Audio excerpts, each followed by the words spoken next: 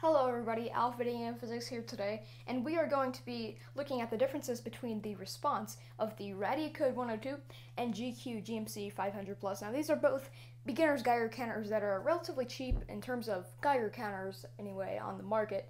They're available to everybody at a small cost, is uh, what I should say I guess. I was requested to use Uranium to show the differences between the response.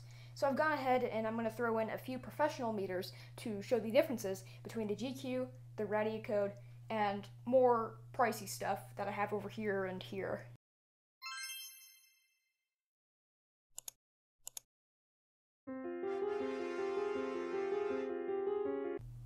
But of course, you can't start a video about uranium ores without first measuring metallic uranium.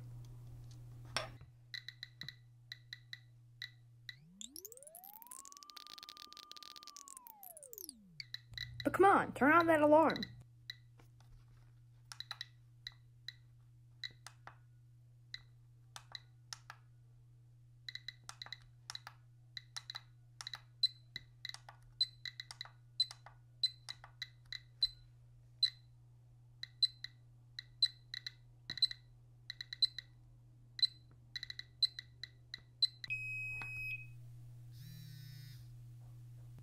So this meter uses the same type of detector as the last one, which is a GM tube, which is basically a tube of gas and a piece of metal inside that ionizes when radiation hits the metal. Hmm, it's reading lower. Not much response on this meter, but that's because this meter is intended for dose rate measurement. But what if we want the highest possible count rate? Well, in that case, we'd go with scintillator because they gather more counts.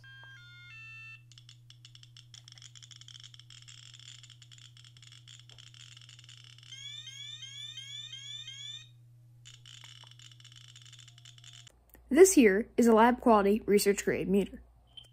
We'll have to go to the next scale. We're going over.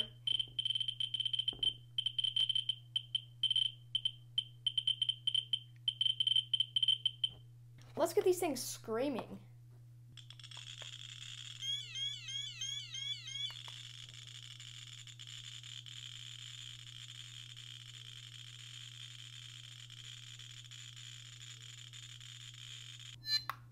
Now, the GQ won't seem to get anywhere near here. An explanation for that is simple. Scintillators are much more sensitive than GM detectors.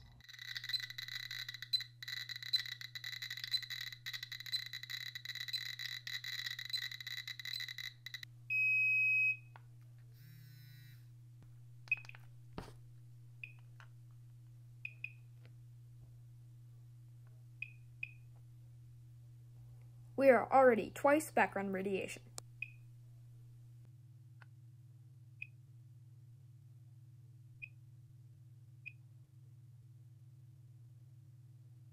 Looks like we are three times background radiation at 0.3 microsieverts per hour.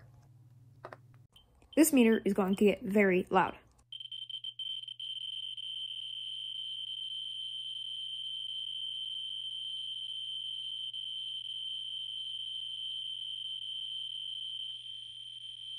It's not that hard to get tired of that.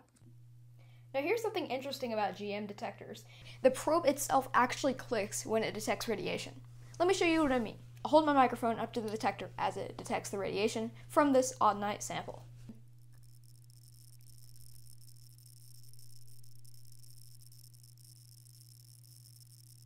Hear that?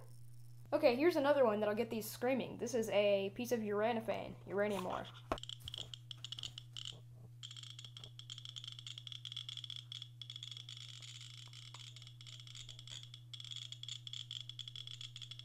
Okay, it hasn't so much triggered this one, but I want to see what it does to the other one.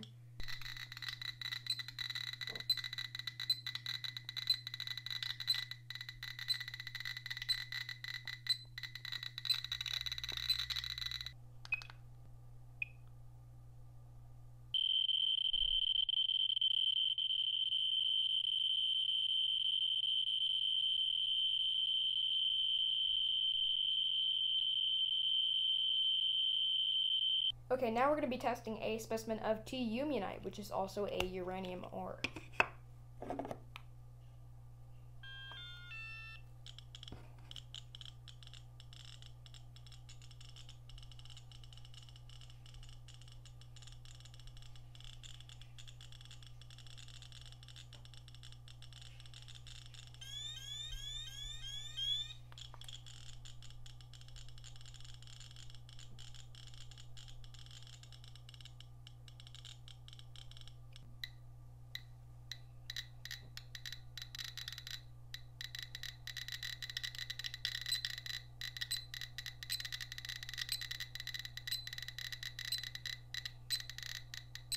Since this is, after all, a video of me comparing the GQ to the Radiacode, I want to draw your attention to something of their differences. The Radiacode has a fairly fast response, and the GQ is taking forever to respond, except when it gets up there. When it gets up there into the thousands, it starts shooting up like a rocket. Nothing much, really, just a few clicks. Up by maybe like 20 or 2 nanosieverts, 5 nanosieverts.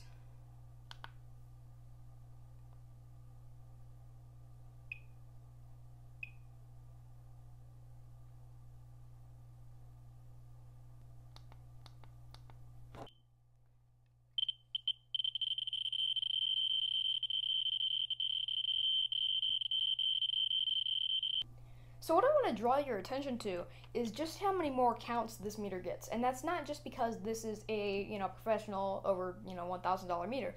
That's not why. There are actually cheaper meters out there like the GQ GMC 600 Plus that will exhibit the same phenomena. Now why is this? Well, it's actually because this probe detects alpha, beta, and gamma. The other detectors don't detect alpha, and most of the counts coming off of uranium is primarily alpha.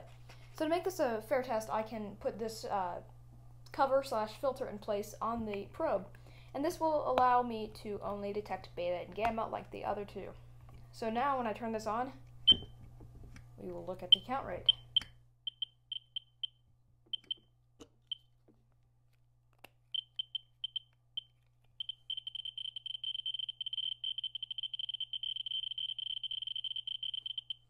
Not as high.